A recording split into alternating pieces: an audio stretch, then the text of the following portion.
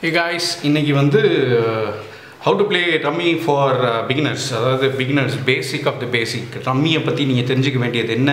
அது அந்த points game எல்லாம் கிடையாது. வின்னர் லூசரு ஒரு ஒரு மூணு பேர் விளாண்டிங்க நாலு பேர் விளாண்டிங்கன்னா மோஸ்ட் வின்ஸ் யார்? ஒரு ஒரு செட்டு கேமில் ஒரு ஒரு அஞ்சு கேம் இல்லைனா பத்து கேமில் மோஸ்ட் வின்ஸ் யார் எடுக்கிறாங்களோ அவங்க தான் வின்னர் அப்படின்ற மாதிரி வச்சுக்கிறது இல்லை ஒரு ஒரு ரெண்டு பிளேயர் விளாண்டுக்கிட்டு இருந்தோம்னா யார் ஜாஸ்தியாக வின் பண்ணுறாங்க அப்படின்ற மாதிரி வச்சு நீங்கள் விளாண்டுக்கலாம் ஸோ அதுக்கு தேவை உங்களுக்கு வீட்டில் ஏற்கனவே கார்டு இருக்கிறதுனால தான் வந்து நீங்கள் Uh, ஹவுடியஸே ரம்மி uh, எப்படி பேசிக் பிக்னர்ஸ் uh, எப்படின்னு சொல்லி கற்றுக்கலாம்னு நினைக்கிறீங்க அப்படின்னு சொல்லி நினைக்கிறேன். வீட்டில் கார்டு இருக்குது குவாரண்டீனில் எதுவும் பண்ண முடியல அப்படின்றதுனால அப்படி இல்லைன்னா கூட நீங்கள் என்ன பண்ணுங்கள் உங்கள்கிட்ட ஐஃபோன் இருந்துச்சுன்னா இந்த கேம் டவுன்லோட் பண்ணிங்க. இந்தியன் ரம்மி கிங்ஸ் அப்படின்னு சொல்லி கேமோட பேர். இது சும்மா வெர்சஸ் கம்ப்யூட்டரே நீங்கள் விளையாடலாம். ஏன்னா ப்ளே வித் ஃப்ரெண்ட்ஸு ஆன்லைன் மல்டிப்ளேயருக்குலாம் விளையாடணும்னா நிறைய பேர் ஃப்ரெண்ட்ஸ் குரூப் இருக்கணும். ஸோ வெர்சஸ் கம்ப்யூட்டர் போயிட்டு உங்களுக்கு ஆட்டோமேட்டிக்காக thirteen card rummy game deal ஆகும். இந்த கேமை வச்சு நீங்கள் ஈஸியாக வந்து எப்படி கற்றுக்கிறது ஏது கற்றுக்கிறது அப்படின்றது வந்து பார்த்துக்கலாம். இது நல்லா கற்றுக்கிட்டீங்க அப்படின்ற இருந்துச்சுன்னா இந்த கேம் விளையாடலாம். ஸோ ட்ரை பண்ணி பாருங்கள் டவுன்லோட் லிங்க் கீழே நான் போடுறேன். That is thirteen Indian rummy kings அப்படின்னு சொல்லி கேமு ஐஓஎஸ் ஆப் ஸ்டோரில் கிடைக்கும். டவுன்லோட் பண்ணி விளையாண்டு பாருங்கள் எனிவேஸ் வில் கெட் ஸ்டார்டட் ஐம்பத்தி நாலு கார்டு டெக் uh, உங்கள்கிட்ட இருக்கும். அந்த ஐம்பத்தி நாலு கார்டு டெக்கில் ரெண்டு ஜோக்கர் இருக்கும். அப்புறம் வந்து நாலு சூட் இருக்கும். சூட்டுன்றது வந்து இந்த டைமண்டு ஹார்ட்டு ஸ்பேடு கிளப் அப்படின்றது தான் வந்து சூட்டு ஒவ்வொரு சூட்லேயுமே பதிமூணு கார்டு இருக்கும். டைமண்ட் இருக்குது கிளப்ஸ் இருக்குது ஹார்ட்ஸ் இருக்குது அப்புறம் வந்து ஸ்பேட் இருக்குது சொன்ன மாதிரி. ஒவ்வொரு சூட்லேயுமே பார்த்தீங்கன்னா உங்களுக்கு பதிமூணு கார்டு இருக்கும். பதிமூணு கார்டு என்னென்ன கார்டு அப்படின்னு சொல்லி பார்த்தீங்கன்னா ace ace is equal to ஒன்று இந்த கார்டு கேமில் ஏன்னா ஒன் அப்படின்னு சொல்லி நம்பர் கார்டில் இருக்காது. ஸோ ஏஸ்லேருந்து ஆரம்பிக்கும். ஏசு ரெண்டு மூணு நாலு அஞ்சு ஆறு ஏழு எட்டு ஒம்பது பத்து. பத்துக்கு அப்புறம் ஜாக்கு பதினொன்று குயின் பன்னெண்டு கிங்கு பதிமூணு. மொத்தம் பதிமூணு கார்டு பாயிண்ட்ஸ்னு நீங்கள் பார்த்தீங்கன்னா அது பாயிண்ட்ஸ் வச்சு விளையாடணும்னு பார்த்தீங்கன்னா ஏஸுக்கு பத்து பாயிண்ட்டு அப்புறம் வந்து கிங் கிங்கு குயின் ஜாக்குக்கு பத்து பத்து பாயிண்ட்டு மற்றது எல்லாமே வந்து உங்களுக்கு ஃபேஸ் வேல்யூ அதாவது என்னென்னா மூணுனா மூணு பாயிண்ட்டு ரெண்டுனா ரெண்டு பாயிண்ட்டு ஸோ கேம் முடிஞ்சதுக்கப்புறம் செட்டு சேர்க்காம நீங்கள் இதர கார்ட்ஸ் வச்சுருந்தீங்கன்னா அந்த கார்ட்ஸுக்கு பாயிண்ட் சேர்த்து அந்த பாயிண்ட்டை வந்து நீங்கள் ஒவ்வொருத்தவங்களுக்கும் பாயிண்ட்ஸ் எழுதி வச்சுட்டு யார் ஜாஸ்தி பாயிண்ட்ஸ் எடுக்கிறாங்களோ அவங்க லூசரு கம்மியாக பாயிண்ட்ஸ் எடுத்திருக்கவங்க வின்னர் அப்படி தான் வந்து இந்த பாயிண்ட்ஸ் ரம்மி விளையாடுறது. ஸோ கார்ட் டெக் எடுத்ததுக்கப்புறம் இந்த ரம்மி இந்தியாவில் விளையாடுற கார்டு கேமோட பேர் தேர்ட்டீன் கார்டு ரம்மி. அதாவது ஒவ்வொருத்தவங்களுக்கும் பதிமூணு கார்டு போடணும். அதனால தான் இது பேர் தேர்ட்டீன் கார்டு ரம்மி. இதில் வந்து ஓப்பன் ஜோக்கர் க்ளோஸ் ஜோக்கர்னு இருக்கும். எக்ஸ்ட்ரா வைல்ட் கார்டு ஜோக்கர்னு சொல்லி சொல்லுவாங்க. இந்த ரெண்டு ஜோக்கர் இல்லாமல் ஏதாவது ஒரு நம்பர் வந்து உங்களுக்கு ஓப்பன் ஜோக்கராக வைப்பாங்க. ஜோக்கர் நீங்கள் கார்டு கட் பண்ணுறப்ப ஸோ ரெண்டு பேர் விளையாடுறீங்க அப்படின்ற இருந்துச்சுன்னா முதல்ல கார்டை ஷஃபிள் பண்ணிங்க கார்டை வந்து ரொம்ப தரவாக ஷஃபிள் பண்ணணும். மீன் ரொம்ப எக்ஸ்பர்ட்டாக ஷஃபிள் பண்ணணும்னு அவசியம் கிடையாது. சும்மா இந்த இந்த இப்படி இப்படி கூட பண்ணுவாங்க. இப்படி கூட வந்து ஜென்ரலாக கார்டு பண்ணுவாங்க. ஆனால் கார்டு தேஞ்சு போயிடும்ன்றது பயத்தினால வந்து அதிகபட்சம் யாரும் முடிய மாட்டதில்ல பட் அப்படியும் வந்து கார்டை ஷஃபிள் பண்ணலாம். இந்த வீடியோ நீங்கள் ஆக்சுவலாக சேனலில் சப்ஸ்கிரைப் பண்ணியிருந்தீங்கன்னா நிறைய பேர்லாம் கீழே கமெண்ட்ஸில் போட்டிருப்பாங்க. ஏன்டா கார்டை ஷஃபிள் பண்ண கூட தெரியல. நீ என்னடா கார்டை பற்றி சொல்லி கொடுக்குறேன்னு. ஷஃபிள் பண்ண தெரிஞ்சிருக்கணும்னு அவசியமே கிடையாதுங்க. கார்டு விளையாட தெரிஞ்சால் போதும். லாஜிக்கை மட்டும் நீங்கள் கற்று வச்சுக்கிட்டு நீங்கள் யாரு கூட வேணாலும் விளையாடலாம். இல்லைன்னா இந்த வீடியோவை பார்த்து உங்களுக்கு புரியலையா? கூகுளில் வந்து அவுட் டு பிளே ரம்மி அப்படின்னு சொல்லி அடிச்சிங்கன்னா எக்கச்சக்கமாக இன்ஸ்ட்ரக்ஷன் இன்ஸ்ட்ரக்ஷனல் வீடியோஸ் இருக்குது இன்ஸ்ட்ரக்ஷனல் டாக்குமெண்டேஷன் இருக்குது இது அதை வச்சு நீங்கள் தாராளமாக கற்றுக்கலாம் ஸோ எனிவேஸ் கார்டை நல்லா ஷஃபிள் பண்ணிங்க. இன்னொரு ஒரு தடவை புதுசாக எல்லாம் திட்டினதுக்கப்புறம் நான் புதுசு புதுசாக ஷஃபிள் பண்ணுறதுக்கு நான் கற்றுக்கிட்டு வச்சுருக்கேன். இப்படி ஒரு தடவை ஷஃபிள் பண்ணலாம் அது. சி ஜெய் ஜெய் அது நல்லா பிளாஸ்டிக் கார்டாக இருந்துச்சுன்னா கார்டு உடையாது. பேப்பர் கார்டிலலாம் இதுமாதிரி ட்ரை பண்ணாதீங்க. ஏற்கனவே ஒரு ஒரு ரெண்டு பேப்பர் கார்டை வந்து டெக்கை நான் காலி பண்ணிட்டேன். ஸோ ஷஃபிள் பண்ணதுக்கப்புறம் ஃபஸ்ட்டு வந்து கார்டை வந்து கட் பண்ண சொல்லுவாங்க. இப்போ ஆப்போனன்ட் பார்ட்டிகிட்ட கொடுத்து கார்டை கட் பண்ணி கொடு அப்படின்னு சொல்லி சொல்லுவாங்க. ஸோ அவங்க வந்து ஒரு கார்டை கட் பண்ணிவிட்டு ஒரு கார்டு எடுத்து இதில் வந்து எங்கே கட் பண்ணுறாங்களோ அந்த ஒரு கார்டு எடுத்து இதுதான் ரம்மி அப்படின்னு சொல்லி வச்சுருவாங்க. ஓப்பன் ரம்மி அப்படின்றது இது என்னென்னா எட்டு அப்படின்னு சொல்லி நமக்கு வர்றது எல்லாமே rummy. I mean sorry open ஜோக்கர்ன்றது எட்டுன்னு வர்றது எல்லாமே ஜோக்கர் ஸோ நம்மள்ட்ட கொடுப்பாங்க. டீலர் பதிமூணு கார்டு போடணும்.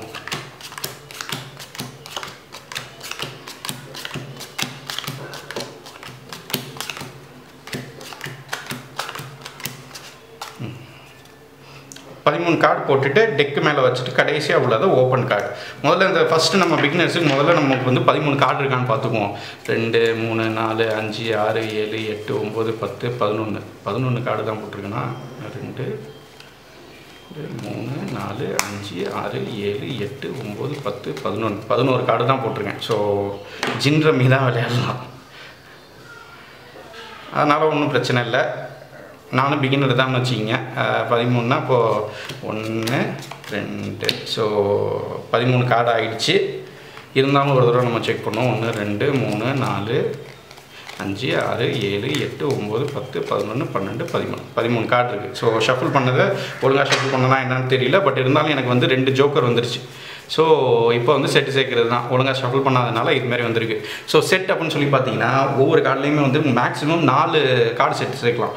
இதில் யுனிக் சீக்வன்ஸு அப்படின்னு சொல்லி சொல்லுவாங்க. யுனிக் சீக்வன்ஸ்னால் அதாவது இப்போ ஏஸ்லேருந்து சொன்னேன்ல அதே மாதிரி two three four five six seven eight nine ten இல்லைனா ஜாக்கு குவீனு கிங்கு அப்படின்றது இல்லைனா ஒம்பது பத்து ஜாக்கு இல்லைனா பத்து ஜாக்கு குவீனு இல்லைனா குவீனு கிங்கு ஏஸு அது மாதிரி வர்றது எல்லாமே குவீனுக்கு அப்புறம் திரும்பி ஏஸ் வரும். ஸோ ஏஸ் அப்படின்னு சொல்லி வர்றது எல்லாமே வந்து பியூர் சீக்வன்ஸு இது வந்து நீங்கள் ஒரே சூட்டில் தான் இருக்கணும். இப்போ இது கிளப்ஸ் எயிட் ஆஃப் கிளப்ஸ்னால் இதுக்கு பக்கத்தில் நான் நைனு டென்னு ஒம்பது பத்து மட்டும்தான் கிளப்ஸில் மட்டும்தான் நான் சேர்க்க முடியும்.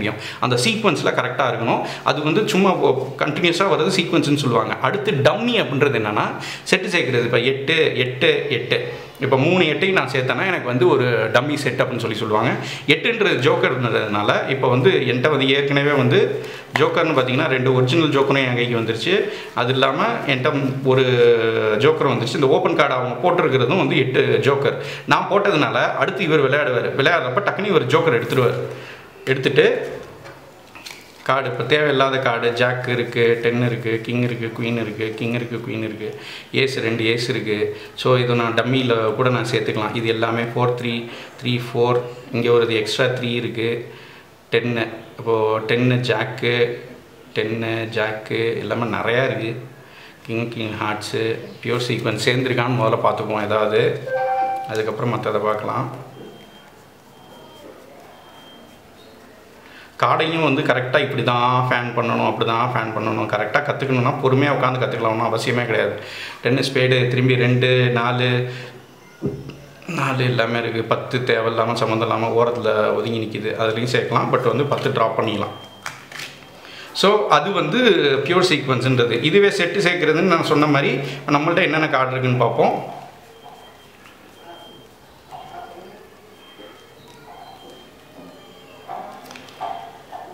அஞ்சு ஆறு ஜாக்கு குவீனு அஞ்சு ஏழு அஞ்சு.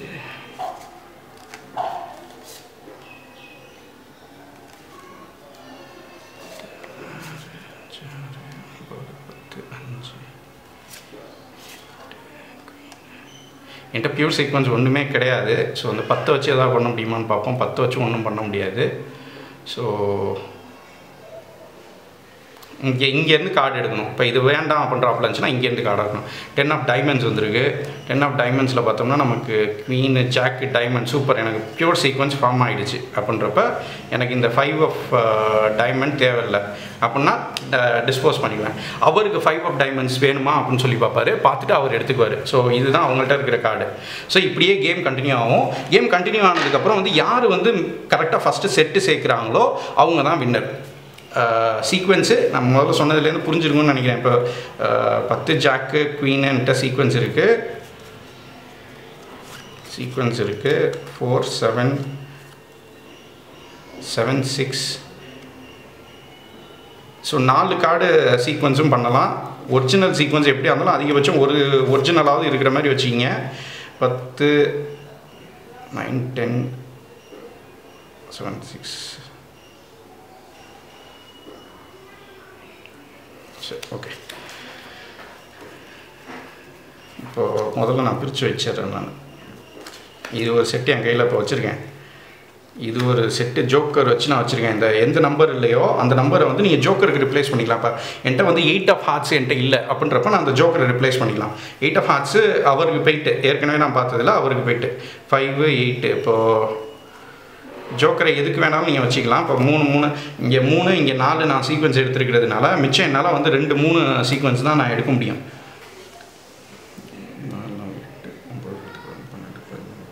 ஒரு கார்டு நான் ட்ராப் பண்ணணும்.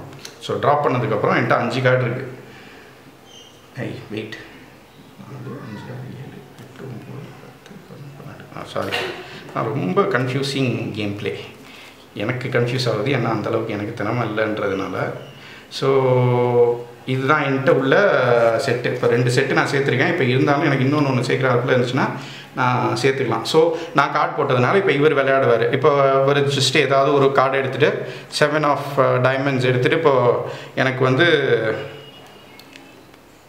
எனக்கு என்ன தேவைன்னு பார்த்துக்குவோம். இப்போ குயிட் ஜாக் ஆஃப் ஸ்பேட்ஸ் போடுறாரு அப்படின்னு சொல்லி வச்சுக்குவோம். எடுத்துகிட்டு ஜாக் ஆஃப் ஸ்பேஜ் போடுறாரு அப்படின்ற பிரச்சனை. எனக்கு குயின் ஜாக் ஆஃப் ஸ்பேஜ் இருந்துச்சுன்னா எனக்கு ஒரு செட்டு சேர்க்க முடியும். அதாவது ஜோக்கர் வச்சு என்னால் செட்டு சேர்க்க முடியும். ஸோ நான் அந்த ஜாக் இதை எடுத்து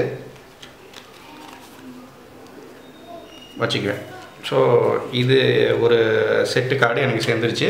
ஸோ இப்போ பத்து இதெல்லாம் தான் வந்து எனக்கு இதர கார்டுகள் இருக்கிறது. நான் ஒரு கார்டு போடணும். நான் கார்டு எடுத்ததுனால நான் ஒரு கார்டு போடணும். இப்போ ஃபைவ் ஆஃப் ஃபோர் ஆஃப் டைமண்ட்ஸை நான் போட்டுடுறேன். அவர் வந்து வேறு கார்டு எடுக்கிறாரு நைன் ஆஃப் டைமண்ட்ஸு அவர் எடுத்துகிட்டு சிக்ஸ் டென் அவர் வந்து குயின் ஆஃப் ஹார்ட்ஸ் போடுறாருன்னு வச்சுக்கோம் குயின் ஆஃப் ஹார்ட்ஸ் போடுறாரு. அந்த குயின் ஆஃப் ஹார்ட்ஸ் நான் எடுத்துகிட்டு டென்னு ஜாக்குக்கு பதில் நான் எட்டு வச்சிருவேன். ஜாக்குக்கு பதில் இந்த ஜோக்கர் வச்சு நான் கார்டை ஃபோல்ட் பண்ணிவிட்டு பாஸ் எனக்கு கேம் முடிஞ்சிருச்சு. அப்படின்னு சொல்லி சொல்லிடுவேன். நான் இது பண்ணிவிட்டு ஷோ ஆஃப் ஹேண்ட்ஸ் அப்படின்னு சொல்லி கேட்பேன். இந்த ஷோ ஆஃப் ஹேண்ட்ஸில் என்கிட்ட வந்து ஒரிஜினல்ங்கிறது ரொம்ப முக்கியம். ஆனால் நான் ஒரிஜினல் சேர்க்கலை. ஒரு மிஸ்டேக் பண்ணியிருக்கேன். நான் ஜாக் ஆஃப் ஹார்ட்ஸ் இங்கே வச்சுருக்கேன் நான் ஆக்சுவலாக ஜாக் ஆஃப் டைமண்ட்ஸ் வச்சு தான் நான் முதல்ல சொன்னது மாதிரி ஜாக் ஆஃப் டைமண்ட்ஸ் வச்சா தான் சீக்வன்ஸ் ஏறும். ஸோ இது நான் எனக்கு ஜாக் ஆஃப் டைமண்ட்ஸ் வந்து நான் சேர்த்துருக்கேன் அப்படின்னு வச்சுக்கோங்க. இதுதான் வந்து பியூர் சீக்வன்ஸு பத்து ஜாக்கு குவீன் எல்லாமே வந்து டைமண்டில் இருக்கிறது பியூர் சீக்வன்ஸ் பியூர் சீக்வன்ஸ் இருந்தே ஆகணும். ஜாக் ஆஃப் டைமண்ட்ஸில் ஒரு பியூர் சீக்வன்ஸ் இருந்தே ஆகணும். அடுத்து வந்து ஒரு டம்மி செட் இருக்கணும் அப்படின்னு சொல்லி அவசியம் அப்படின்னு சொல்லி ஒரு சில இதில் சொல்லுவாங்க.